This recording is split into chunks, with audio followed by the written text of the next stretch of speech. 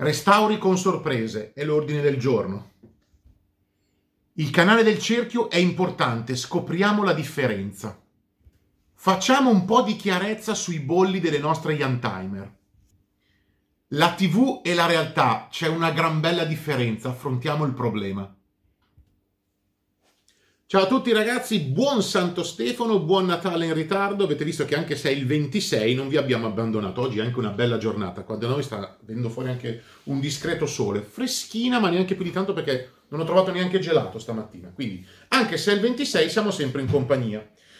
Faccio una parentesi, non sarà una puntata particolarmente lunga. Ho scelto quattro mail perché mi sono... ho perso un po' di tempo, ho perso la parola giusta, per leggere eh, tutti i curriculum che sono arrivati. Ne ho trovati qualcuno di interessante, poi la, tra la settimana prossima e eh, la settimana dopo l'Epifania magari contatterò qualche persona, però c'è da dire ragazzi, chiaramente io faccio questo appello, ma non serve a niente perché è soltanto uno sfogo personale. Io mi sono riguardato il mio video, voi sapete che io non guardo, non guardo mai i miei video, l'avevo detto questa cosa, sono uno dei pochi che non guarda mai il video, nemmeno quando esce.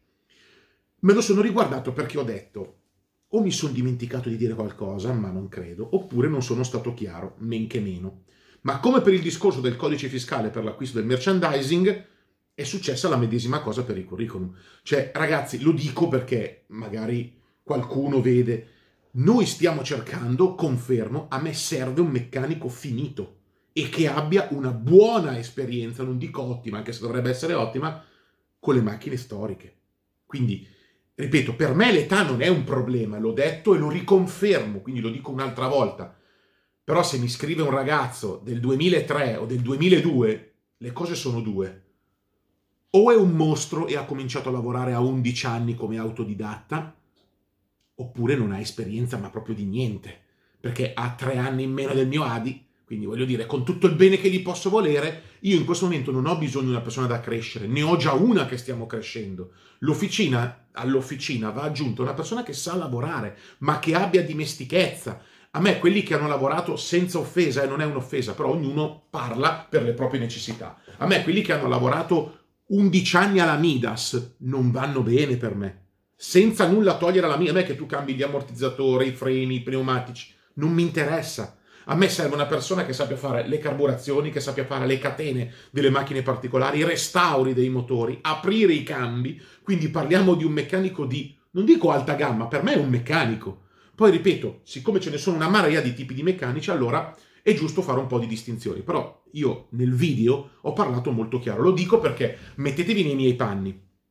È bello che qualcuno ti scriva perché vuol dire che c'è interesse. Io capisco che ci sia fame di lavoro e ci sia una marea di datori di lavoro stronzi. Quindi nel momento in cui uno trova una persona seria, tutti lì. Però ragazzi, io non ho bisogno di un falegname o un panettiere, per quanto possono essere bravissimi e volenterosi. Perché non me lo posso permettere in questo momento. Quindi voglio dire che chi rivede questo messaggio, per cortesia, Basta soltanto, come ho, come ho detto nell'altro video, fate un passo indietro, guardatevi bene il video, analizzatevi, perché il primo giudizio siete voi.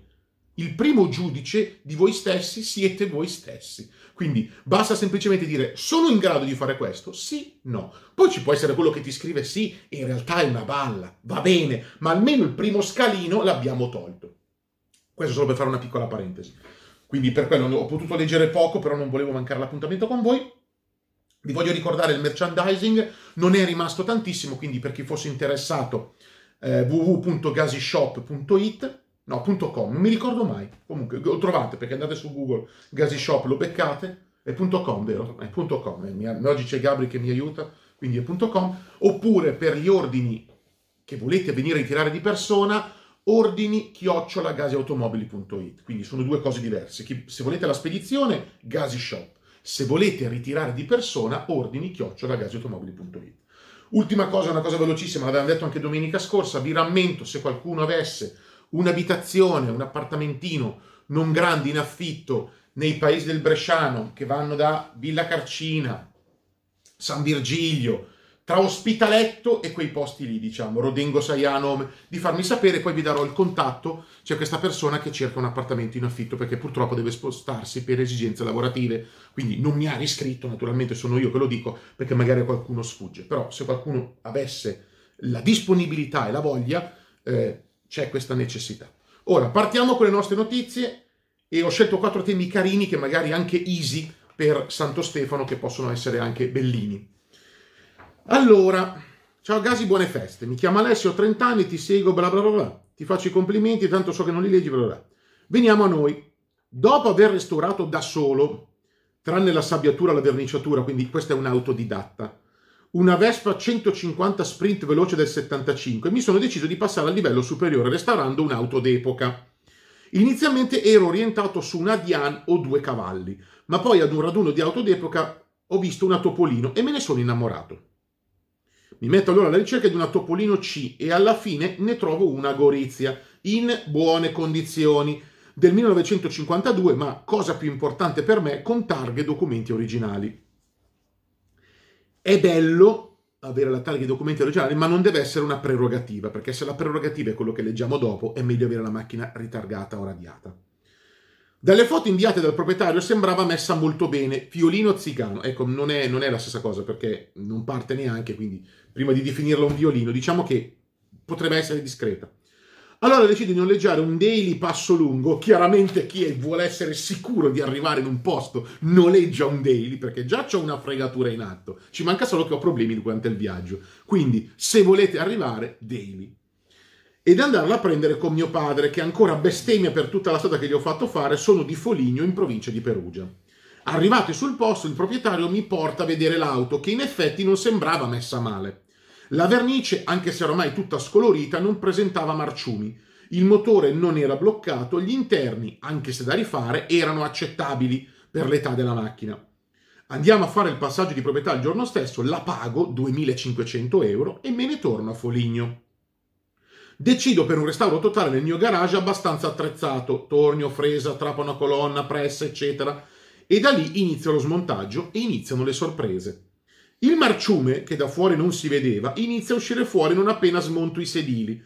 Qualcuno aveva rivettato sul fondo originale, ormai ridotto a un colabrodo, due lamiere zincate sulle quali avevano saldato a cazzo di cane, perfetto, le guide dei sedili. I sottoporta interni erano completamente marci, erano coperti magari dalla moquette o dai sedili.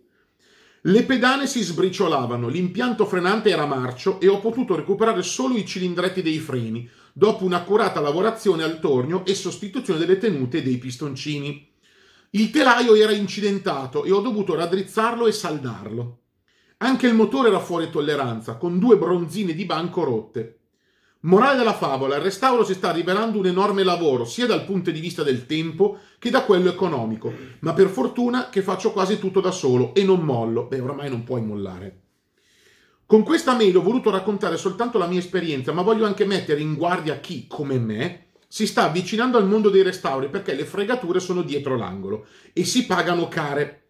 Se avessi scoperto prima il tuo canale, forse avrei valutato meglio l'auto prima di prendere. Un abbraccio a tutti gli utenti, ciao. Allora, più che fregature adesso una macchina del 50, un'utilitaria, vi potete immaginare come è stata tenuta negli anni. Cioè già quando si prendono le macchine ultra restaurate tro- possono, trovare, possono trovare dei problemi. Pensate a queste. Io però vi voglio dire una cosa. Perché vi dico questo? Per due motivi. Uno, quando mi si chiedono mi fai un preventivo per una macchina che è ferma come questa da una vita? Che preventivo posso fare? Io la guardo come l'hanno vista questi ragazzi, magari ne capisco qualcosa in più. Ma non è che quando vado a vederla smonto i sedili, smonto la moquette per guardare gli angoli, cioè non posso farlo nel box, capito cosa voglio dire? Quindi il preventivo può tranquillamente variare del 50%, ma tranquillamente, anzi, cioè ci sono momenti in cui tipo il duetto bianco è stato un delirio, è stata una cosa pazzesca, tra l'altro siamo addirittura d'arrivo col duetto bianco, quindi con l'anno nuovo sicuramente vedete dei video interessanti. Però questo vi voglio dire che non è questione di fregatura, poi magari questo la sapeva lunga, è questo che vendeva, ma magari no. Quindi questo non mi sentirei di dire fregatura. Più che altro c'è un altro discorso. Allora, quando si acquista un'automobile, è brutto dirlo, il cuore deve fare da padrone e siamo tutti d'accordo. Infatti a lui piace questa macchina, a me non piace, però a lui piace questa macchina e quindi è chiaro che fa tutto da solo, ci sta mettendo dentro, le ore non si contano, anche se comunque le ore, anche se c'è la passione, anche se ti fai lavoro da solo, ci devi guardare, perché è tempo che potresti spendere per altre cose, ma quello è un discorso lato che non c'entra nulla. Però voglio dire una cosa, molte volte si fa questo ragionamento, e questo la gente che dico, quando dico questa cosa la gente non si deve offendere, si fa questo ragionamento perché la gente non vuole spendere. Allora, io non so che cosa valga una Topolino C, non so neanche se è un balestra lunga o un balestra corta, non, è, non sono le mie macchine e non le voglio fare. Però quanto vale bella, almeno che parte si può provare una macchina così? Cioè, per averla pagata 2500 euro relitto, relitto è la prova giusta, quanto ne vale la pena? Cioè, un conto è se uno dice compro un Ferrari, come il mio, un 208, vale 80.000 euro, è abbandonato, non va in moto, è, lo pago 30, ho un margine per le sorprese, no? Ma se questo la paga 2005 più un viaggio allucinante, perché hanno noleggiato il furgone, andate, tornato, ok. E la macchina bella, per bella non intendo perfetta, eh, almeno utilizzabile, ne costa 7, 8, 10, ma non ne vale la pena. Questo voglio dire, in questo caso non ne vale la pena. È vero che uno mi dice io la pago 2005 e poi la faccio come voglio io, ma lo può fare uno che si fa le cose da solo e ci sono sempre le sorprese perché poi arriva il momento che c'è qualcosa in cui non hai le competenze, tipo registrare i freni, che voglio vedere quando ci sarà da farlo, perché non è una stupidata, non è una passeggiata. Quindi voglio dire, valutate un po' che cosa vale la macchina. Parlo delle macchine ferme e inutilizzabili, perché già le sorprese ci sono per le macchine funzionanti. Pensate per le macchine ferme. Chiudo la parentesi. Andiamo avanti. Cambiamo discorso, che magari questa è una cosa che può riguardare in molti di voi. Siccome a me piacciono molto i cerchi in lega, questo è giusto dirlo. Ciao Gamire, non mi dilungo nei complimenti, tanto non li leggi, è vero. Allora, come prima auto ho deciso di prendere una E46 del 2004 320 diesel Touring allestimento M. Vabbè, tralasciando il motore che non mi piace, la E36 del 2004 è già restyling, quella con, con i faretti fendinebbia rotondi sotto. Ho scoperto che i cerchioni anteriori Style 68, praticamente sono i cerchi da 17, su lui mi ha mandato la foto, sono, sono anche bellini sono diversi dai posteriori, gli anteriori. Certo, allora, larghezza 7,5 gli anteriori e 8,5 i posteriori. Le gomme montate però sono tutte e quattro 225 45 17. Cercando in internet però l'auto esce dalla fabbrica con le posteriori 245 40 17, è vero. La mia domanda è, dato che sto montando delle gomme più strette al posteriore, c'è qualche rischio per la sicurezza e o affidabilità in tenuta? È normale che per un'auto standard, non è un'auto ad alte prestazioni, BMW abbia deciso di differenziare le misure tra anteriore e posteriore? Faccio presente che a libretto sono ammesse entrambe le misure citate prima, quindi legalmente non ci dovrebbero essere problemi. Spero riuscirei a darmi una risposta, un caro abbraccio, un saluto a tutti, buon Natale. Allora, questo non è un problema, questa è una cosa che viene fuori in parecchie, eh, su parecchie case costruttrici, soprattutto sulle macchine, anzi, praticamente solo sulle macchine a trazione posteriore. Allora, innanzitutto io vado a prendere una E46 320 diesel, ma BMW difficilmente fa differenze da un 330C. Però se vuoi comprare un 330C, dici cazzo, è giusto che abbia le 245-40 al posteriore, la macchina ha 231 cavalli, questa ne ha 150. Perfetto, ma BMW vuole cadere in piedi, è una trazione posteriore, quindi le stesse normative e le stesse concessioni, quasi tutte, delle misure delle gomme del 330C ce le dà anche per il 320 diesel. Voi pensate che avevo fatto una prova del 320, eh, sì, era un 320, era già un 2002 di cilindrata, un 170 cavalli, eh, un C benzina, e questa macchina aveva i 18 già omologati. Quindi ha stesse, praticamente gli stessi pneumatici che monta il 330, identici. Eppure tra il 2000 e il 3000 c'è una bella differenza, ma monta le stesse identiche gomme. Allora, loro non fanno differenza perché questo ce l'ha anche la mia M3. Allora, io ho quattro cerchi della mia M3 originali, cui, su cui sono montati gli antineve nuovi, mai usati, me li ha dati il precedente proprietario, mai montati, mai usati sulla strada, nuovi, immacolati, sono da 18 pollici, la macchina esce con i 19, la mia M3, per, per farvi un esempio. Lui è andato a comprare in BMW gli originali da 18 pollici, ma montando le 245 su tutte e quattro le ruote, lui è andato a comprare i cerchi col canale uguale. Sono tutti e quattro da 8 pollici. Ma se io andassi a prendere i cerchi da 18 pollici per la M3, cioè quindi quello con cui usciva di serie, erano differenziati, perché andrebbero montate le gomme differenziate. Allora, Loro sul libretto non ti possono scrivere, in teoria dovrebbero dirtelo, non ti possono scrivere guarda che le 2.25 vanno solo col canale da 7,5. Cioè, pensate a quanti intenditori, forse adesso, ma nel 2004 c'erano di una cosa del genere. Nessuno. Quindi loro hanno detto, ascoltami, la 2.25 è tollerata per un cerchio col canale da 8,5, facciamogliela montare. Per me è un errore.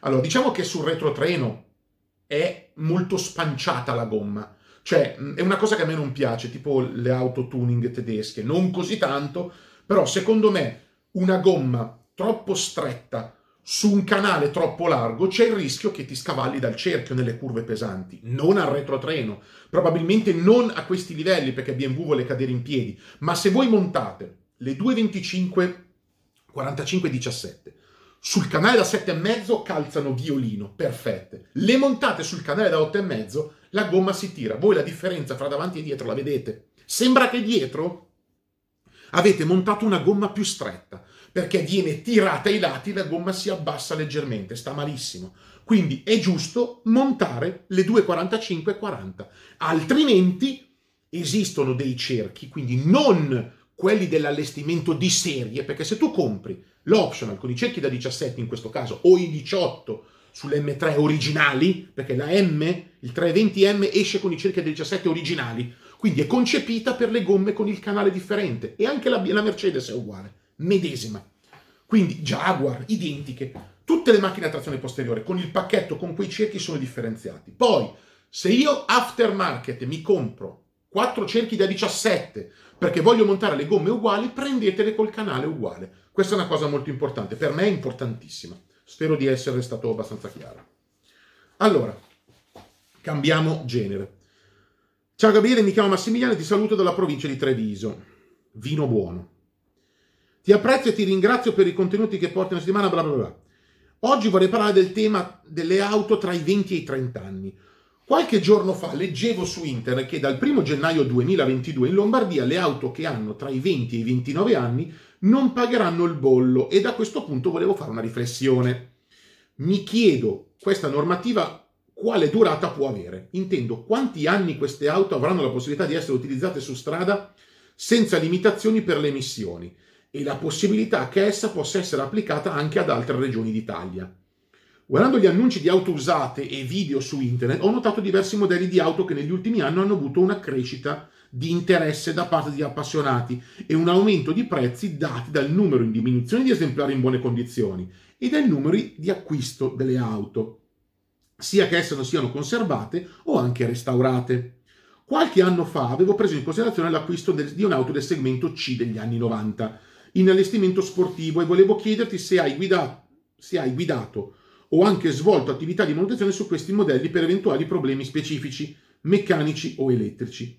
Che hai riscontrato? Nel dettaglio le auto sono Ford Escort RS 2000 16 valvole, Golf 2000 GT 16 valvole, Peugeot 306 16 valvole, Opel Astra 2000 GSI 16 valvole, Renault 19 1008 16 valvole. A mio parere auto che hanno passato i 20 anni e possono avere un certo valore storico e anche affettivo, è giusto che vengano conservate con cura e utilizzate saltuariamente, in modo da evitare che nel possibile eventuali problemi anche costosi. E infine, secondo me, le auto Young Timer e le auto storiche le distinguerei dalle auto vecchie di basso valore, utilizzate per un tragitto casa-lavoro, per esempio. Grazie a tutti e buona festività. Grazie per i contenuti che portate. Allora, partiamo dal fondo la frase che le macchine storiche vanno usate poco è la mia politica, quindi non posso che sposare. Parto dal fondo e poi salgo. Quindi non posso che sposarla. Per me le auto vanno preservate. Infatti è questo che dovrebbero capire, secondo me, perché dopo ci troviamo a dover pagare. Loro che cosa fanno? Danno agevolazioni a tutti, a cani e porci. Poi si accorgono che hanno fatto una stronzata, quando ci sono delle restrizioni tagliano e ci prendono dentro ai veri appassionati o a chi ha veramente delle auto da preservare. Quindi è come, sarebbe come una punizione, se vogliamo vedere, no? È come a scuola. Due si comportano male, benissimo, c'è la classe in punizione, l'hanno preso nel culo tutti gli altri con la sabbia. Quindi il problema è questo, fondamentalmente è questo. Allora, lui ha citato diverse macchine che a me piacciono molto. Allora, la Escort RS 2016 valvole è una macchina che non è stata bistrattata, di più ancora. Proprio era stata eclissata completamente dalla Cosworth. Questa la prendevi a due soldi, oggi vai a trovarne una bella. Ed è un cannone quella macchina qua, eh, per, per il motore che è. Non è bellissima come linea, ma va veramente bene. La Golf GT 2016 valvole, per essere 2000, immagino che parli di Golf terza serie. Io consiglierei di prendere, finché si trovano ancora cifre umane, il 20 Years, quindi il ventesimo anniversario, con i cerchi da 16, l'interno con i colori diversi, il pomello della, fatto in maniera diversa. Quindi spendete qualche soldino in più e prendete quella. Il 2000 da 150 cavalli non è un aereo. Avete più sensazioni sul motore dell'RS. Non è che vada piano, è più una macchina da autostrada. Quindi ehm, come emozioni preferisco la prima. La terza, per dirvi quanto sono obiettivo, a me non piacciono le auto francesi, ma una macchina che prenderei è la 306 Rally. Io l'ho provata bene, la 167 cavalli, ce l'avevo un mio carissimo amico con cui purtroppo abbiamo litigato in giovane età, ma uscivamo praticamente tutti i weekend e non vi dico che la, perché io non bevevo quasi niente, lui invece era uno che ci dava dentro, la guidavo praticamente sempre io, quando tornavamo dall'Antares, andavamo all'Antares che era Albino, Cazzaniga, quei posti di Vertova, e tornavamo verso Milano. Io ho fatto, con quella macchina lì avrò fatto, sto basso, eh, 2-3 mila chilometri, ma proprio sto basso. Color oro, 6 marce, una macchina fantastica, un motore bellissimo. Questa è una macchina tra le tre da prendere bendato, se la trovate. Ecco, magari è più blasonata la 106, la 106 è una scatola da sardine, la 306 è comunque molto agile, con un'ottima rapportatura di cambio e un motore che non si rompe mai. Quindi, e ve lo dice uno che non ama le auto francesi, quella è una macchina da prendere, bianca o color oro, bellissima. Astra 2000 GSI 16 valvole non mi fa impazzire, a me non fa impazzire il cambio delle Opel. Cioè è indistruttibile, ma si impunta. È sempre stato così. È co- non è che si impunta, ho sbagliato a parlare, è contrastato. Quindi non lo adoro sotto quel punto di vista. Beh, la 19-16 valvole rispetto a tutte le altre paga lo scotto di, secondo me, di una costruzione un po' più vecchia. Perché la 19-16 valvole, adesso non so se lui parla della Shamad o della Berlina, però a 137, ha il motore della Clio, però sulla 19 rende un pochino meno. A me non fa impazzire la 19. È bellina, eh? Mi piace soprattutto la due porte. Ecco, quello mi piace un po' di più. Però secondo me rispetto alle altre ha meno motore. Diciamo che anche forse eh, l'Astra mi sembra che avesse 150 o 155 cavalli, però eh, se la poteva giocare un po'. Però secondo me attaccato alla 19 c'era un pochino meno rispetto alle altre macchine. Questo è un parere personale, poi siamo qua per... Però sono tutte macchine interessanti, carine. Ecco, una cosa importantissima. Naturalmente tu hai citato 5 auto, io ti ho detto quello che preferisco. Ripeto quello che dico sempre. La cosa più importante sono le condizioni, mi spiego meglio. Se Gasi vi ha detto di prendermi una 306, non è che io sono il messia. Quindi non è che dovete comprare un rottame perché ve l'ho detto. Se trovate una bellissima 19, optate per la 19 o per la Astra, assolutamente. Io parlo a parità di bellezza. Golf ne hanno vendute col secchio, 306 sono già molto più rare. Le Escort per me sono andate tutte o demolite facendo i numeri o nel ferro. Quindi anche quella è una macchina più rara. Valutate bene che cosa trovate, però sono cinque macchine interessanti, questo è quello che ti voglio dire. Allora, lui mi fa una domanda importante. Allora, il fatto del pagare il bollo. Allora, chiariamo un attimino il discorso del bollo, perché la mail era cominciata con quello. Allora, re- parliamo della regione Lombardia. Le altre regioni è un discorso a parte, che anche questo è sbagliato, perché se siamo uno Stato, cioè la regione non può decidere autonomamente una tassa statale, quindi secondo me non è giusto, però. E vivo in Lombardia, eh? quindi comunque, va bene, questo è il mio punto di vista. In Lombardia, prima del novembre 2014, prim- quindi prima della legge di stabilità di Renzi, noi avevamo l'agevolazione automatica per le automobili che avevano compiuto 20 anni. Quindi, quals- 20 anni, eh? quindi qualsiasi automobile al compimento del ventesimo anno di età, che sia una 500 ED, una Campagnola, una Ferrari o una Punto o una 1, a 20 anni il bollo non lo pagava più, senza iscriversi a nulla. Molto bene. Dopo è arrivata, chiaramente loro si sono accorti, dopo che cosa ha fatto? Legge di stabilità, martellata totale, bolli ovunque. Asi si è difesa. Ah, ecco un'altra cosa. E se la macchina, sempre prima del novembre 2014, se la, se la macchina era iscritta ASI, Chiaramente in Lombardia erano molto meno quelle iscritte ASI perché non c'erano problemi di agevolazioni, ma se la macchina era iscritta ASI, il bollo era ridotto, il, scusatemi, il passaggio di proprietà era ridotto. Quindi se la macchina era iscritta ASI e aveva dai 20 ai 30 anni, pagava il passaggio ridotto come lo pagate oggi per una macchina dai 30 anni in su, quindi circa 200 euro. Quindi bastava esibire il tesserino dell'ASI, dell'iscrizione dell'ASI che all'epoca era plastificato oppure era una cartolina orizzontale, il passaggio veniva automaticamente, a volte anche pagavate un quinto, perché pensate che, faccio un esempio, un M5 con 340 cavalli di passaggio paga 1400 euro, se è iscritta ASI ne pagava 200. Quindi c'era un risparmio pazzesco, soprattutto anche per il fuori regione, quindi anche fuori regione avevate in tutte le altre regioni questa agevolazione, è stata tolta nel 2014 e non è, e non è più stata messa, quindi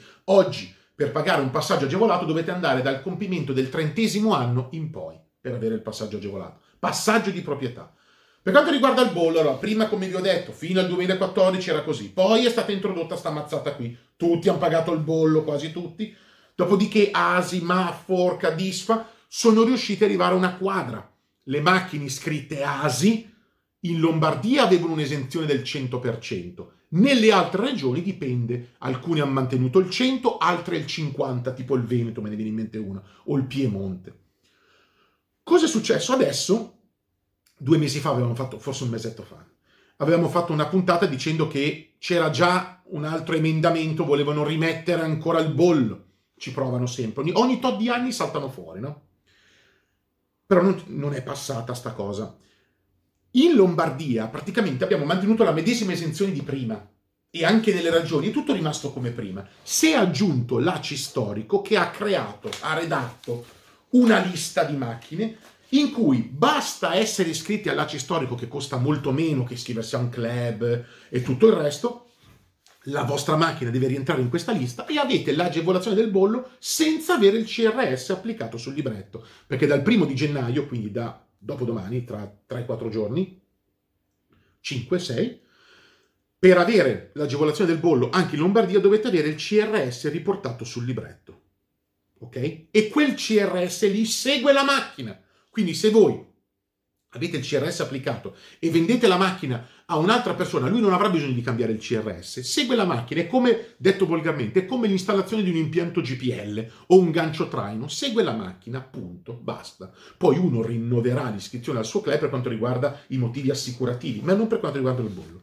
Quindi questa, questa lista di ACI storico serve in Lombardia per snellire, io preferisco comunque iscrivere la macchina all'ASI, perché comunque il mio CRS sul libretto lo pago una volta, però mi permette anche di aiutarmi a fini assicurativi, in caso di sinistri, per la circolazione, quindi io lo preferisco comunque. Però per chi avesse una macchina che non usa o magari tiene ferma e rientra nella lista chiusa, per lui potrebbe essere meglio. Si, si iscrive ad ACI storico senza CRS, se la sua macchina è nella lista chiusa, che è consultabile sul loro sito, avete l'agevolazione. Questo è quanto. Per il fatto di non poter circolare, ragazzi, il comune di Milano e automobili nella stessa frase non ci possono stare, quindi quello non c'entra nulla. Il comune di Milano ad ottobre del 2022 gli Euro 2 benzina sono fermi e hanno 25 ingressi annuali, oltre i sabati e le domeniche. Diciamo che a me non mi sfiora e credo che anche a tanti altri appassionati perché la macchina d'epoca la usano nel weekend, se la usano. Quindi questo è anche un po' un dramma di queste cose, perché dopo loro annusano gli affari i nostri capi, chiamiamoli capi. Se le macchine d'epoca fossero usate per quello che sono, questi problemi noi non li avremmo. Solo che chi invece la macchina d'epoca la usa tutti i giorni, in sostituzione alla macchina normale, come escamotage per risparmiare magari bolli, assicurazioni. Questo non è del tutto corretto. Quindi quando arrivano queste mazzate, lasciando perdere da chi arrivano, sono fondamentalmente sbagliate, ma non è che arrivano da sole, loro fanno dei calcoli, delle statistiche e dopo ci vanno di mezzo tutti. Adesso, grazie al cielo, con questa cosa di ACI storico e, il, um, e delle iscrizioni ASI si sono mantenute le agevolazioni come erano. Io sono per la macchina d'epoca per utilizzarla saltuariamente. Quindi eh, il fatto di circolare a me prende, e abito a Monza, mi prende veramente in, in senso proprio piccolo, piccolo, piccolo. Ora, ultima mail, Ciao Gabri, salto i complimenti, vabbè. La TV ci propone spesso dei format dove vengono acquistate auto Young Timer per essere rimesse a nuovo o comunque per dargli una seconda vita. Quello che mi colpisce è che nella maggior parte dei casi il prezzo d'acquisto è ridicolo. Ogni problema si ripara facilmente e poi per qualsiasi pezzo di ricambio si trova in un negozio specializzato fornito come un magazzino da fare invidia alla BMW o un meccanico in grado di sistemarle. Insomma, tutto sembra facile e a poco prezzo. Seguendo le tue rubriche mi sembra invece che la realtà sia ben diversa. Le auto si pagano, le riparazioni non sono gratis e i ricambi sono difficili o impossibili da trovare. Non credi che queste trasmissioni abbiano contribuito al boom delle Young Timer, facendo credere che tutto sia semplice alla parata di tutti? Cosa ne pensi? Un saluto Michele. Io la penso proprio così. E penso anche che sì, con mm, il fai da te, va bene, c'è un bel, parte che possono farlo solo con certe macchine, ma è vero, c'è questo, come far capire, questa voglia di mettersi dietro, ma il fai da te alla fine del lavoro, a differenza del meccanico che invece tu lo paghi, quando vedi il conto dici cazzo cosa mi è costata sta macchina, il fai da te non funziona così, perché lì c'è un pezzettino ogni volta che tu fai la macchina ed è difficile rendersi conto delle ore che uno ci spende dietro e dei soldi, perché anche il fai da te ha dei costi. Quindi sarebbe il caso di prendere un bel foglio di carta a macchina finita, fare la lista delle ore, delle cose che ho speso e dire ma chi me l'ha fatto fare molte volte sulle macchine? Però può capitare. Ragazzi, questa cosa, sì, questa cosa della televisione si sì, può aver aiutato parecchio, è vero, sono d'accordo.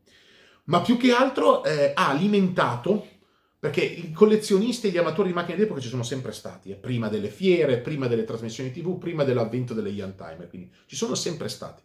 Diciamo, le Young Timer sono arrivate perché si sposta l'età dell'utilizzatore. Cosa voglio dire?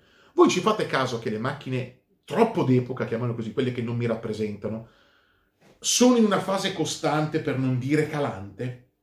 Le macchine anteguerra non le compra praticamente più nessuno.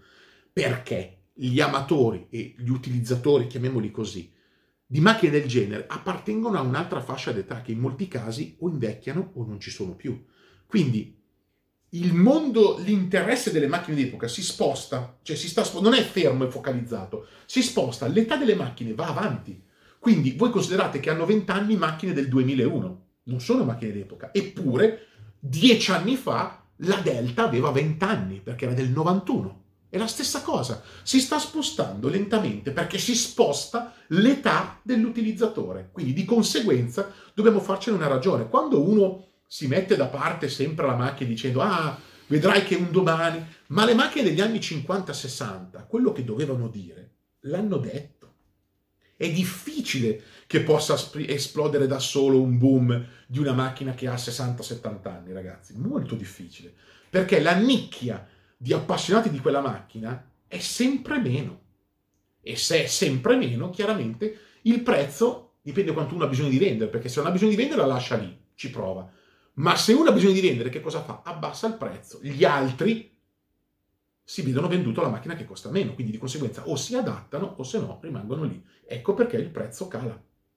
Contrario, se io ho una macchina che è richiesta, il prezzo sale. Poi posso non venderla. Quando mi dicono che alcune macchine non si vendono, sono chiacchiere, perché molti di voi non sono in questo, in questo mondo, ma io vedo macchine, vedo Delta, Tema, 75, Jaguar, Maserati, che passano di mano a cifre che neanche si immaginano e le comprano. Quindi la bolla speculativa, chiamiamola così, doveva esplodere già nel 2015, quando io ho fatto autoclassica nel 2015, ho portato una Delta, ho portato una KF Turbo bianca, avevo fatto vedere le foto, una KF Turbo bianca, un integrale 16 valvole trasformata ad evoluzione, era una macchina da corsa, lo stand accanto al mio mi ha detto, nel 2015, eh cazzo le Delta sono su di brutto, ma vedrai che questa bolla fra poco esplode. Ok, dal 2015 non vi dico che sono raddoppiate, ma sono circa l'80% in più. Quindi, poi è chiaro, le cose non dureranno in eterno, si ridimensioneranno, ma da lì a dire che una bolla esplode, purtroppo molte volte l'invidia parla e invece magari bisognerebbe stare un attimino così. Quindi vi do un abbraccio grande ragazzi, spero di non avervi annoiato, buon Santo Stefano e alla prossima. Ciao! Bye.